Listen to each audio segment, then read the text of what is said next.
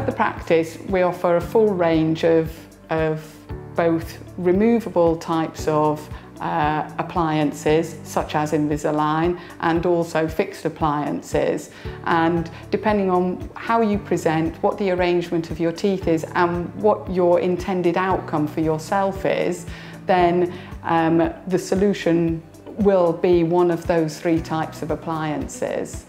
or one of those three types of appliances would work for you. Um, and it's a matter of